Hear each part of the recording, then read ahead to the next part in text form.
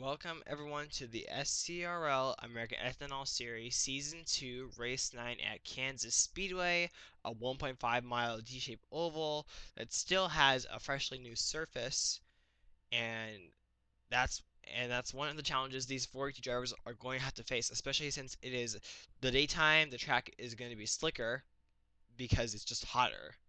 And so we could have more uh, slide ups than last night.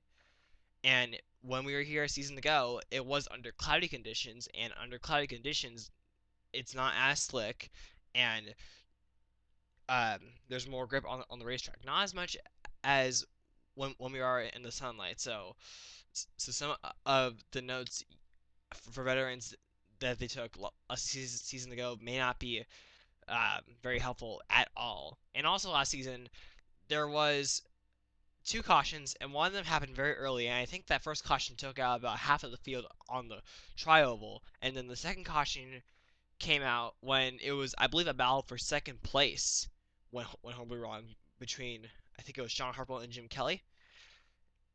And I think that we could see the same thing today. Maybe more cautions, maybe maybe less cautions. I really do not know. And last week when we were Ricky, there were some things that stayed the same and some things that changed. But one thing that changed that stayed the same, and that was pretty much the only thing that stayed the same, was the continued dominance of Dale Scott and Dean Orton. These two drivers for the past three weeks have really gotten great, solid finishes. And but the thing is, Dean Orton was able to chop into that lead uh, lead between him and Dale Scott. So now it's a 26 point difference, and between Dean Orton and Jonas Maps Jr., who is the third place man in points, it is a 20 point lead. So a season ago, it felt like that everyone in points was pretty close together. Not as much this season. So, and it won't be too long before I we start saying your time is running out if you're high in points. It won't be too long before we start saying that. So, if you're struggling, if you're struggling, or if you're in the middle of the pack, you really have to get going, because this race could be one of your last ch uh, chances to uh, catch up. Even though that might not be easy for some of you to, to understand, it is uh, kind of the truth. But anyway, I think that's pretty much all I have to say. Oh, oh yeah, and also a season ago that race was won by AJ Green, but he's not in this series. So just like in the truck series, we are definitely going to have a new winner.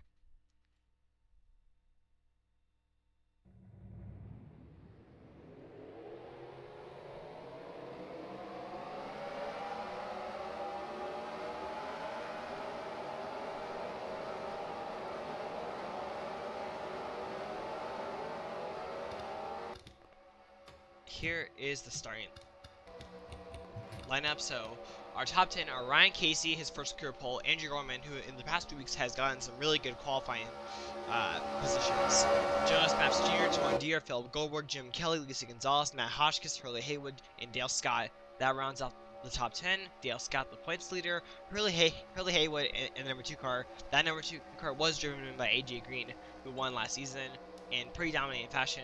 And here is the rest of the field. Dean Orton starts in the middle of the pack, 27, so he's going to have to really find his way through here. I just want to go through the field to see if anyone has trouble, because last night in the truck series, Daniel Wills in the 6th truck uh, had to come down pit road early. But that doesn't seem like the case this season. So now coming out of turn number 4 and onto the front stretch, Ryan Casey leads him to the green flag at Kansas. The second event ever in the series and Ryan Casey get, gets off to a pretty good start like Bro Hedgehog did last night. But here comes Jonas Maps Jr. looking to make the pass. Right behind him is Philip Goldberg in the 18, a driver that had a really good day at, Hillside before he had an engine failure. And, and he was leading while that happened. And Philip Goldberg here. It almost looked like it, that he was going to take the lead away, but oh my goodness here. They hook together here. Ryan Casey goes over the wall. Oh my goodness, up on the wall here. Oh my goodness. Uh, Dale Scott gets some damage here. Oh my goodness early crash in, in the going, and strangely, that did not take out as many cars as we thought we would. Oh my goodness, what happened right there? That's not going to be... I don't think Ryan Casey is going to be very happy with how uh, Phil Goldberg in the 18 was racing him. He He's not, because that was just simply way too early to just be forcing the issue. But just like a season ago, a very early caution. Let's take a closer look and see what happened with him and then how some of the other drivers got involved. Entering turn number three, Ryan Casey did leave some room from from Philip Goldberg, but the thing is, it was not enough room for Philip Goldberg to make a pass, and I feel like that this shouldn't come across as Philip Goldberg was just trying to get him like loose, because it's just simply it's just way too early to do that. It just is here, and for Ryan Casey, he gets the worst end of it. So he gets clipped down onto the apron right here. Philip Goldberg saves the car. Joe Smith Jr. does an amazing job right here to, to get slowed down time right here, and then right here, this the rest of the crash starts right here. Um, Hurley Haywood goes around, Torn Dieter goes around, uh, Ben Goldberg got some damage, so did Blaine Keys, and many more drivers also got some nose damage. And some of that nose damage might actually result in a couple of DNFs. But if we were, but when, when we look at, when we look at oh my goodness, when we look at Cliff Crafton here, what happened to him right here is that I think that, that we all of a sudden saw saw Crafton just like sideways coming onto our screen.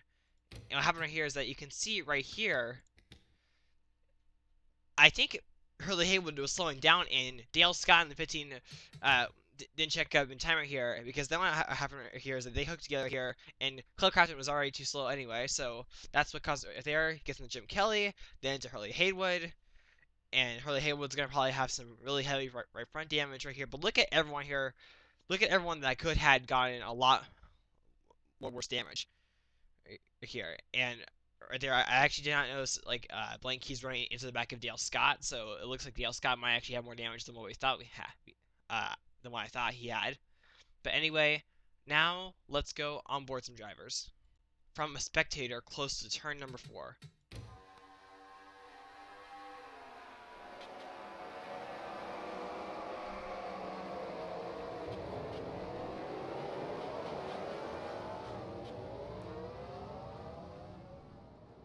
Only three DNFs. Ryan Casey, Torn Dieter, Garrett Sinner. Has had a, a mediocre season.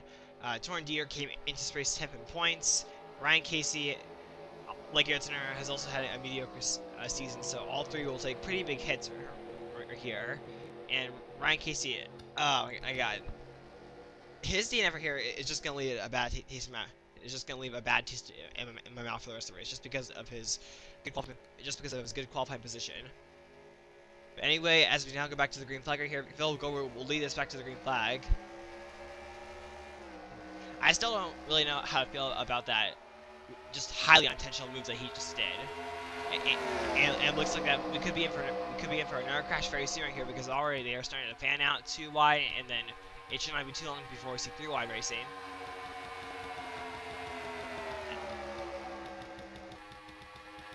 But, but anyway, here now it's a good course once again. Oh my god. What, what are we doing right here? Oh my goodness, Peyton Keys, Lisa Gonzalez here. They hooked once again. I don't know what they are doing racing aggressive so earlier here in Kansas.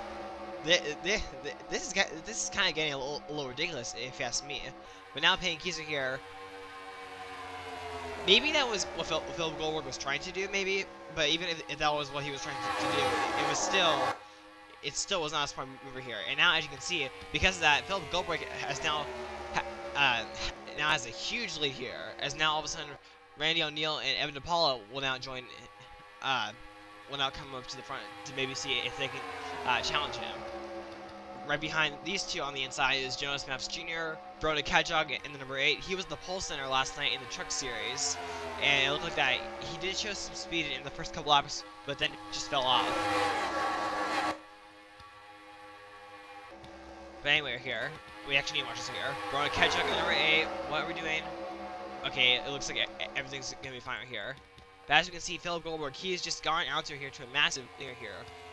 Um, what's the margin this time? The margin is... Okay, it's not a huge lead, especially for this early in the race.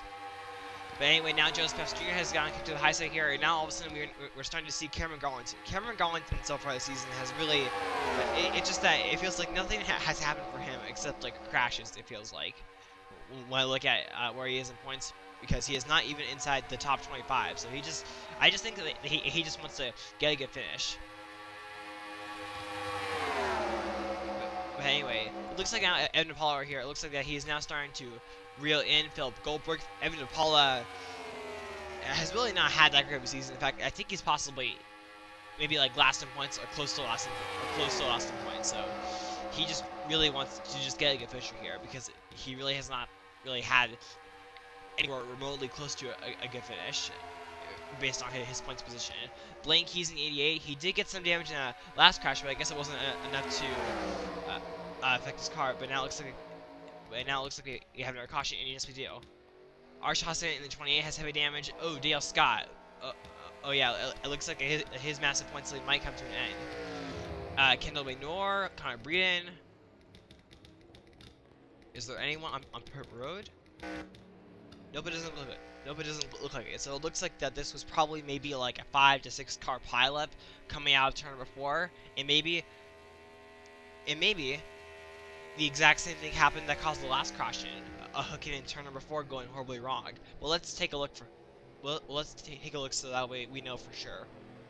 My, my prediction of what happened did sort of come true. It wasn't a hooking on the inside, it was actually a hooking on the outside that caused it. And the hooking was between Austin Kennedy and Kendall Minor, the, the, two drivers on the high side here. Then they come right down into Arch Hossein right here. Kendall Minor hits the wall, but, Arch Hossein looks to, get to get the worst right here. Abe Troxel gets into uh, Crafton in the 62. Car Breeden has nowhere to go.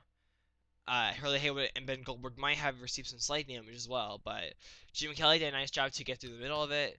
And then Cliff Crafton and D and Dale Scott, they were already so far behind, so Dale Scott was not involved in this crash. But anyway, uh, unlike last time, this time we will definitely show some onboard cameras. Arch did not get that great of a restart once they went back racing, and that caused him to uh, not pass that many cars and, and look like that he was finally going to do that, but yet trouble once again for the 28 machine.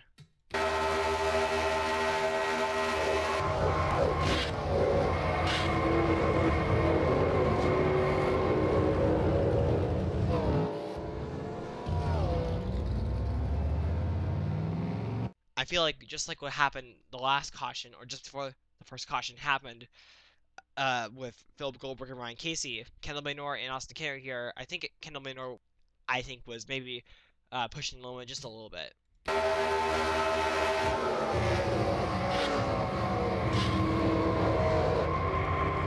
It looked like everything was going to be fine until he got turned by the Crafton. Now we add Connor Breeden and Arsh Hossein to the drivers that are that will now be out of the race. And now our leader is still Philip Goldberg in the 18, who I said earlier has had some good runs before, such as Hillside, where I believe actually in that race he led the most laps or came close to leading the most laps, but then an engine failure resulted in that. And, and, and for those who watched the, the truck race, Garrett Sinner entering that race was in a very similar position where he was so good for some races and then he finally got the win. Could the same thing happen to Philip Goldberg? I'm not exactly quite sure because uh, the, the uh, because right behind him, the orange car of Randy O'Neill, uh, who also ha has shown uh, quite a bit of speed every now and then. 11 points is also looking for that first career win of his career. His first first career win of his career. What? And right behind him, Peyton Keys, another driver that has also shown quite a bit of speed. And looks like that once again the caution's out. What's it for? Ooh, Payne, Payne Keys, Ben Goldberg here, the two drivers that seem to have taken the heaviest hits. Hmm, I wonder what happened here. Let's take a look. Two things. Number one, I was not aware that Blaine Keys was inside the top 10, so he was having a good day just before, just before this happened. And second, I thought it was just Blaine Keys and Ben Goldberg. It was not. So, just like all the previous two cautions, a hook in here, Matt Hoskins does a great job to save the car, but Blaine Keys Blaine Keys goes around. And right in front of the packer here, the first driver to him here is Aiden Saunders. Aiden Saunders goes right in front of Charles Belling, and then Charles Belling gets heavy damage. Ben barely gets an injury here, but then the worst here comes from Ben Goldberg. Look at that here. It, it causes him to go upside down. Kendall Maynor in the 70 might have received some minor damage. But for the most part, that could have been another huge crash. But for Blaine Keys, Ben Goldberg, Aiden Saunders, Ben Briley, and Charles Belling, their days are, are, are going to result in the finishes that I don't think they wanted to get. But now let's go on board a driver or two. I actually did not realize that Dean Orton came super close to hitting the front of Blaine Keys, and this could be the move that actually gives that helps him get the points lead unless something happens to him by the time this race is over.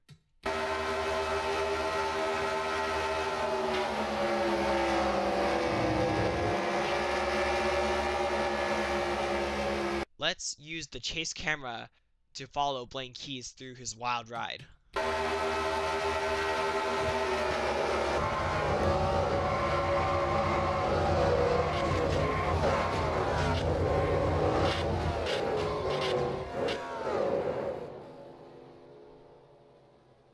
Aiden Saunders, Ben Goldberg, and Blaine Keys are officially out of the race, so we've had three crashes so far, and each of them have resulted in three DNFs, two DNFs, and three DNFs. So, uh, and some of these crashes, I think, should have maybe had actually been a lot more bigger than what they ended up being. But I feel like that when, when we go back racing, it'll still be seven more laps to go. So we still have quite a bit of racing left to go, and a, and a lot can still happen. But one thing that hasn't really changed too much is the domination of Phil Goldberg today at Kansas. And now the now the, the green flag is back out here at, Kansas, and Randy O'Neal. It looked like that maybe he was trying to do a crossover, but it, didn't work out. And now uh, Payne Keys is actually going to go. Both uh, Payne Keys and Evan are going to be huge losers here after this, this restart. Jonas Maps Jr. in the 97. He's he's searching for his first career win. Third in points entering this race. Uh, mathematically, he, mathematically, there even if he were to, to win this race, he would still not be our points leader. Uh, just because entering this race, he is more than a full race behind Dale Scott. Uh, but, but nevertheless, th this is still going to be a great day for him if he can hang on and not have anything bad happen to him. Uh, and right behind him, uh, we, we, also have, a, have a, couple of our drivers, like I said earlier about how, how Cameron Gauntlett has not had that great of a season. Uh, Randy O'Neal, 11 points. This would definitely be a, be a huge win for him in the points. Philip Goldberg in the 18. Uh, he's actually not inside the top 25 points right now, so this would be a, a good day for him. And we've now stayed green uh, uh, for a, a, couple laps now, but I but I don't think it'll stay like that for much longer. Here, Whoa, Dean Orton and John Martin here. That, that's getting a little too close. Sometimes I did wish that this track had maybe better camera angles, but but hey, it's what I, it's what I have to deal with now. But, but now Philip Goldberg here, it looks like that he's just saying CL here. And now all of a sudden we're starting to see a lot more single file racing towards the end of the racing here, except with except this three battle right here between Justin Talabas, John Martin, and Payne Keys. Yeah, ever since ever since the restart, Payne Keys has really fallen off right here. And like here, there are some drivers that are, are just getting super close to the back end of Dean Orton here. Uh, it fears that he's going to get turned around but now just opposite here, he, he gets kicked, he gets kicked to the high side. And now Evan Napala is going to take third away from Jonas Maps Jr. and Randy O'Neal still in second place. But our leader is still Philip Goldberg.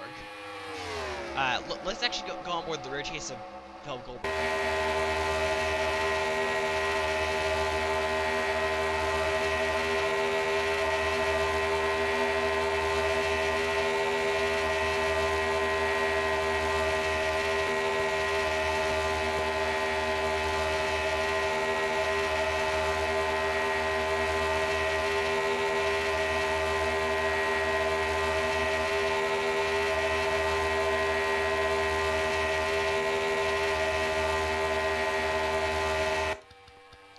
Interesting. The fastest lap there was actually by John Martin in the one, and, and, he, and he has actually been uh, moving up just a little bit here.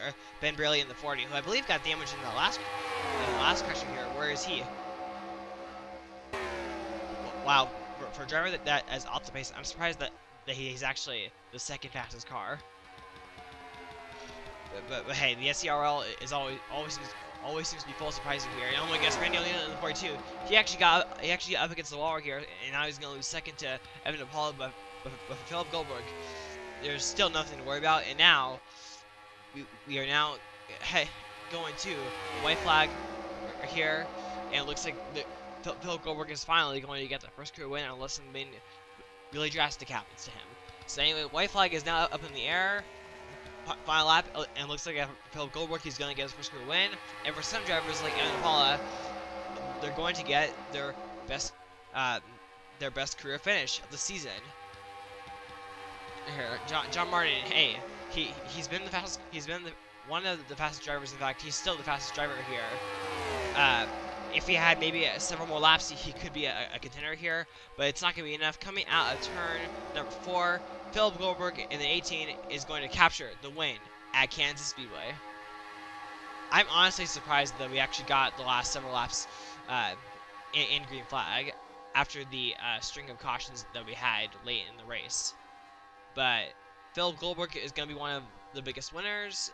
Uh, and, and, and, I believe other drivers will too. Like, I think, like, let's just take a look at here. So, our top 10 right here is Philip Goldberg, Evan Apollo, Randy O'Neill, Matt Hotchkiss, John Martin, Justin Galapagos, Cameron Gallatin, Jonas Maps Jr., Bro Kendrick, and Wills.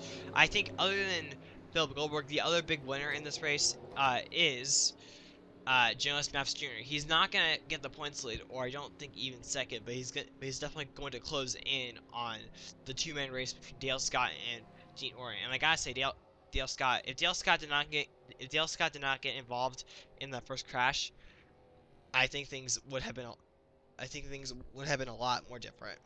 And he's actually going to be one of the biggest losers. I don't know if he's going to lose the points lead I think he had just a big enough margin entering in the race that he's not going to lose it. Uh, and some ways, Dean Orton, I think Dean, Dean Orton, um, I think especially on the final restart, like A, he was not particularly that very great all day, but, but I think B, those restarts, I think he lost a couple to several positions on, on those restarts, so I think that's what also killed him. Other than Jonas Maps Jr., when I look at some of the top drivers in points,